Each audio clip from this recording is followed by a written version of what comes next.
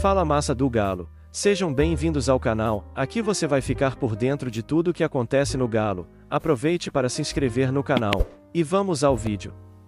Segundo divulgado pelo próprio Atlético na manhã deste domingo, dia 19, Hulk será desfalque na estreia da Libertadores. O atacante Hulk teve diagnóstico positivo no último sábado, 18, quando o Galo realizou a testagem cumprindo os protocolos de saúde para entrada na Venezuela.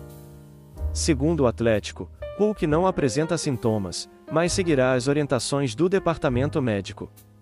Sem Hulk, o técnico Eduardo Cudê deve escalar Eduardo Vargas no ataque. Comente o que você acha, dê um like e se inscreva no canal, e ative as notificações para não perder nenhuma novidade. Até o próximo vídeo.